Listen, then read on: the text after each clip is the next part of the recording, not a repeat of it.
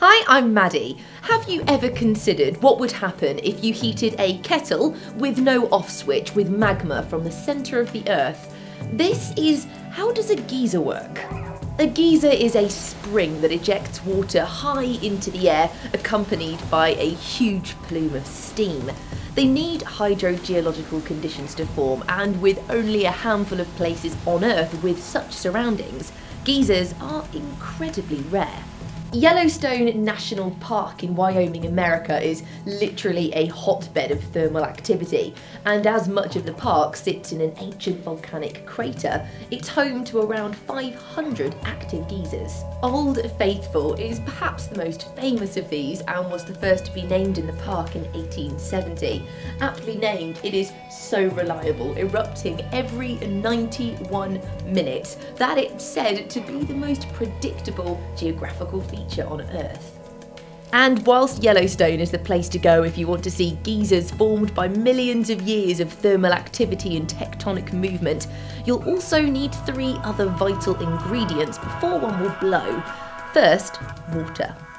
Geysers big and small need water. Without it, they would simply be hot holes. But where does all that water in a geyser's eruption come from? Well, most are located near rivers or underground water sources, and they draw their supply from these vital water tables.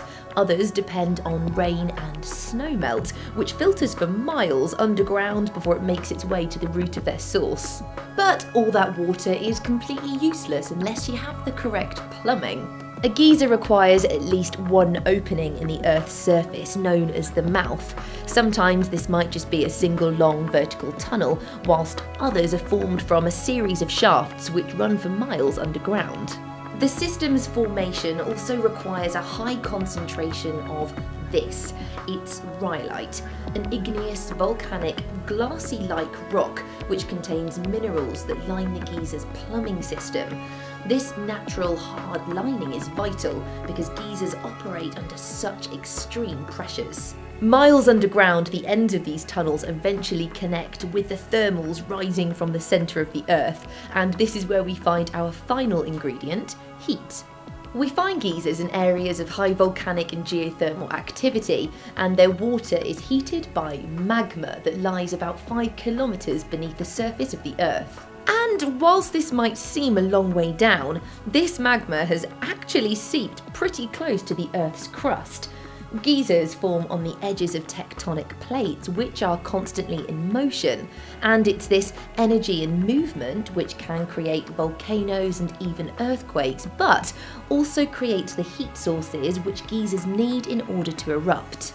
So that amazing eruption begins as water travels up the geyser's tunnels, but as these systems can be miles deep, the water at the very base of the tunnel becomes under incredible pressure from the water above it. And as the magma at the base of the geyser's tunnels warms the water from the bottom up, more and more energy builds in the system, and with no off switch like a kettle, pockets of water begin to boil. When these pockets become turbulent, they push a small amount of water out of the geyser's mouth, which in turn lowers the pressure of the water remaining in the tunnels.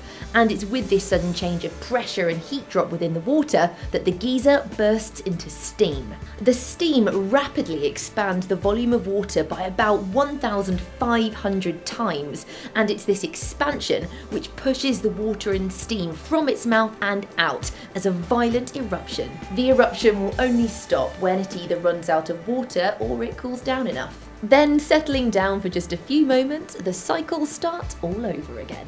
For more amazing facts, make sure to subscribe to Earth Unplugged and we'll see you soon. Hi, I'm Maddie.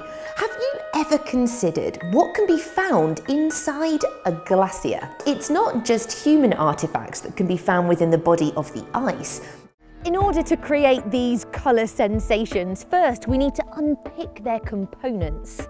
A primary rainbow is created when light refracts as it enters a raindrop.